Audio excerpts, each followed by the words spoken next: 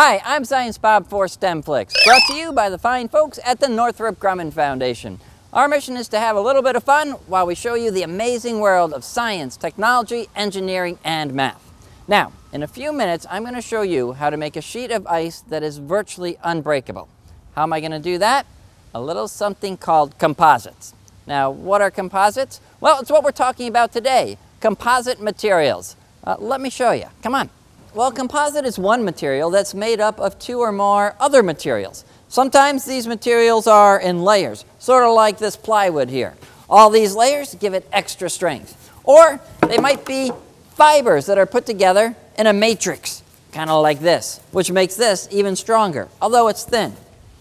Now, I know that might not sound very interesting, but composites like this make ordinary materials seem to have, well, superpowers. Uh, imagine you were going to build a house. You might use wood or maybe bricks like this or maybe cement. But now the problem is that those can be susceptible to fire, tornadoes, or even earthquakes. But if you take that cement and you add some sand and some rocks, now you've got a composite known as concrete. And that is much less susceptible to things like tornadoes and fires and even earthquakes. You could say it's kind of like uh, something with superpowers. So where exactly can you find composite materials? Well, you don't have to look very far because guess what? They are everywhere. These are things like baseball bats and golf clubs and fishing poles and surfboards and this bicycle, which is why I can do this. Try that with your old steel frame bicycle. One of the most common materials used in composites is carbon fiber. Now, carbon fiber might be half the width of a human hair, yet it is incredibly strong which is why scientists combine it with other materials to make those materials stronger and lighter, sort of like that bike I showed you. Scientists are also using carbon fiber and other composite materials to make the products of the future, like artificial limbs to increase mobility. They might even build a car that's so light that it can fly. And it's being used in buildings to reduce energy. And that, of course, is good for our planet Earth.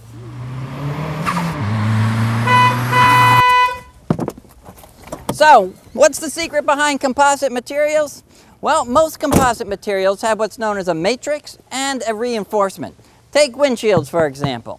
Now there's glass, that would be the matrix, but in between the layers of glass, there's a special kind of plastic called PVB plastic, and that is your reinforcement. And together, they're much stronger than either one of them individually. Uh, let me show you a little experiment that I think might clear this up. So I told you a little earlier that we were going to make a piece of ice that was virtually unbreakable. Let me show you how it works. First, we want something to compare it to. So we're going to make a non-composite material. Get yourself a pan and fill it with about half an inch of water. Now, take that water and go and put it in your freezer and let it sit for about four hours. While you're doing that, let's get the other one set up. This one, we're going to do the same thing. We're going to pour some water in there, but then we're going to add our composite or our reinforcement. In this case, it's going to be a sheet of newspaper about the same size as the bottom of your pan. Just put that in, pour a little bit of water on top of it, and then let's do two more sheets.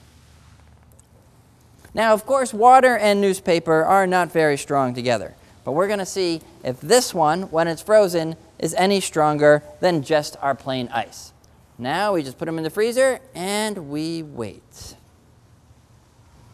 All right, well, it's been about four hours and our ice blocks are nice and solid. So, TJ, we got one ice block here. This one, just regular ice. And then we've got our composite ice block here with the newspaper in it. You ready to test it out? Yeah. All right, goggles down. You always want to have your safety goggles. Go ahead and give that first one a hit. Well, that didn't take much, did it? Look at that, lots of pieces. All right, now go ahead and hit the one with the newspaper. Come on, hit the one with the newspaper. you see? Would you ever think newspaper would have made that so strong? Nope. It's like it's got superpowers. Yeah. All right, now that is amazing, but of course you can't put newspaper in a windshield, can you? No. No, because it needs to be clear. So just for fun, I decided to make one extra batch, but in this one, I put a clear piece of plastic. So you can hardly see it. It's a lot clearer than a newspaper. Let's see how this one does. This is regular ice, but with a plastic uh, reinforcement. All right, give it a try. Yeah, see, really should give it another hit. Yeah, you said, now of course windshields aren't made to entirely be kept from breaking, but all these pieces stay together. And in a real windshield, they're a lot less sharp and a lot safer, thanks to the composite materials. Well, let's hear it for composite materials and future scientists like you, TJ. Well done. That was cool. Well, I hope you enjoyed exploring the amazing world of our scientific superheroes, composite materials. I'll have more experiments for you in the future, so make sure you check back. Until then, I'm Science Bob for STEMFlix. STEMFlix, brought to you by the Northrop Grumman Foundation, inspiring our nation's future scientists, technologists, engineers, mathematicians, and their teachers.